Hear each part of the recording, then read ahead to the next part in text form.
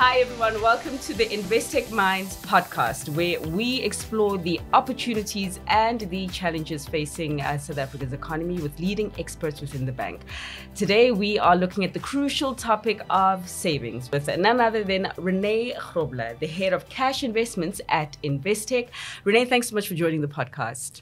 Thank you, Fifi. It's lovely to be here.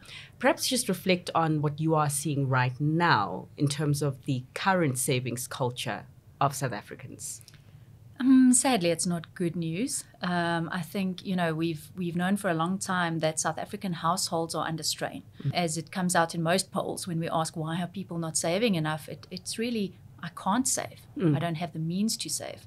But maybe just to get back to your question um, around households and what we're seeing at the moment, the average South African is actually in more debt than we would expect. Okay. So, sixty-two percent of after tax disposable income at the moment is going towards debt. So that means South Africans are indebted, and, and very often it means that they are spending more on lifestyle uh, than they can afford. Sure. Um, and the savings numbers are showing us that South African households, as contributing to the national savings, is actually at a minus number. So they are dissavers not even saving at the moment. But we do know that this government is trying to create or reverse some of the um, ills of mm. our hmm. savings culture and the introduction of the two pot system, particularly to ensure that a lot more South Africans are able to have money when they retire, which is not presently the case. Yes. Just your views on the, the two pot and whether you reckon it's a net benefit. So I think um, the proof will be in the pudding. Mm-hmm. Um, for me, if I if I think about what we're trying to achieve, if all goes according to plan, it, it's a net positive. Mm. We we're trying to ensure that people are saving for retirement and that there's a portion of the savings that remains accessible only for that. Um, you know, under the new two-pot system, one third of your retirement savings will be uh, available for emergency savings use. Um, and I think it was also geared to the fact that if you think about South Africans, we the the statistic that's quoted at the moment is only 6% of South Africans can retire comfortably, sure.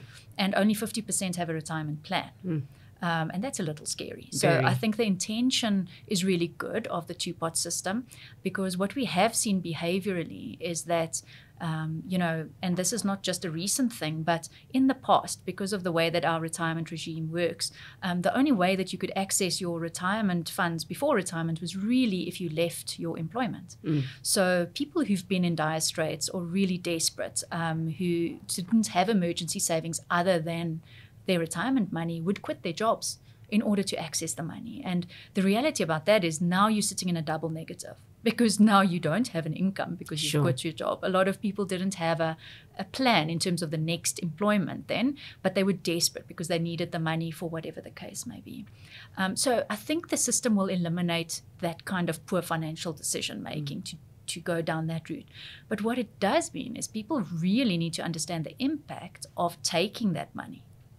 And I think they estimate, you know, if uh, if the legislation, which still needs to be 100% passed into law, you know, if it comes into place in September as intended, between the fourth quarter um, of this year and the first quarter of next year, there could be 40 billion rand um, coming into that sort of available pot. Mm-hmm. Um, and if everybody takes that money, the withdrawal pot, the withdrawal pot, mm-hmm. yes. If everybody takes that money, what what is the impact, right? And what are they taking it for? Are for, they going to take it for emergency spending because it's going back into spending, right? Mm. But or are they going to be what are they going to be doing with that money?